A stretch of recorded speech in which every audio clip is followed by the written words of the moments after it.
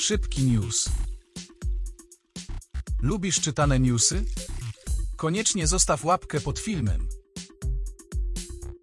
Już niedługo wszystkie newsy będą czytane głosem naszego lektora. Pełny artykuł znajdziesz klikając w link, który znajdziesz w opisie filmu lub po zeskanowaniu kodu QR.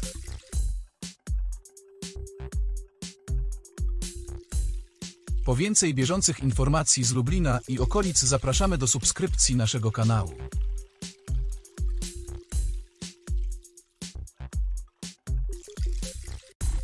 Bądź na bieżąco. www.lubelak.eu